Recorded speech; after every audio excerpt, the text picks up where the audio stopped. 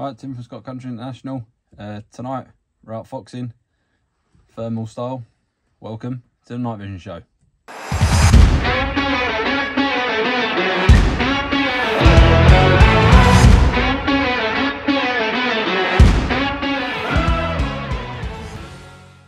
Now tonight we're out foxing again with the uh, the Thermion XG50 mounted on my Howa, a Wildcat Evo and a Howa chassis.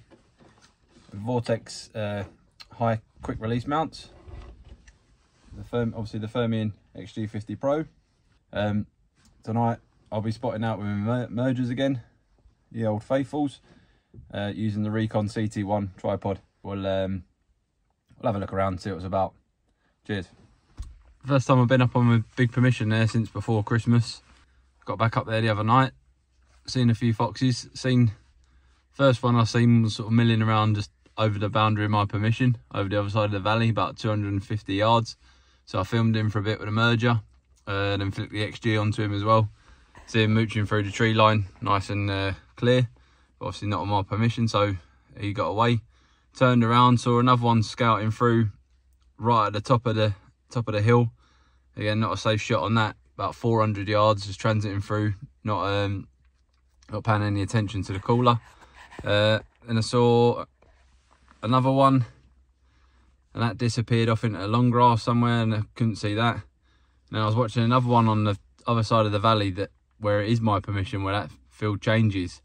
Um, it was about 580. You can see him mousing about, and then he disappeared into the valley, and then I was sat back up, going back up towards nearer the farmyard.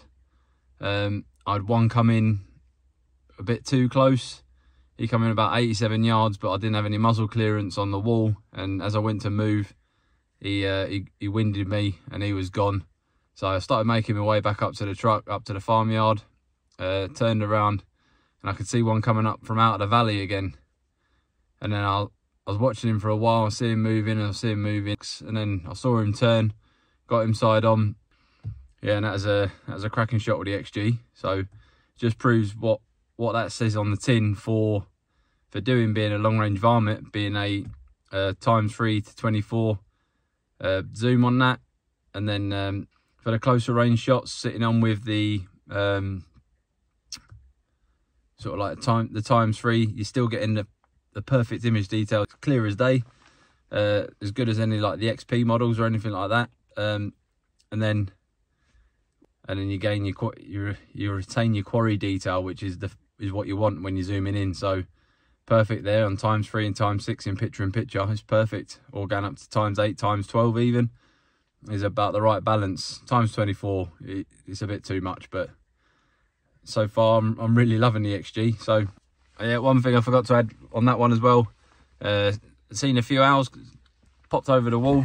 Uh, saw a nice tawny sitting on the floor. It just caught his dinner. Uh, filmed a few um, a few owls flying about. There's a barn owl come down, got his prey. Just caught him flying away with a mouse and he dropped it. And he circled back round, so I filmed him again with the mergers and uh, saw a nice hare running in. Some big hares up on these uh, on the Northumberland moorlands. I thought it was a fox to start with, but um, yeah, it come running into. I got a bit bit closer. Like I say, the image detail on the, the XG, I tend to flick to the XG instead of the merger, even though it's, a better sensor in the merger, but some reason you can identify better with the XG. Well, that's what I'm finding anyway. Uh, so yeah, all in all, it's a, it's good good little view of some wildlife, and uh, so pretty chuffed for that one. So cheers.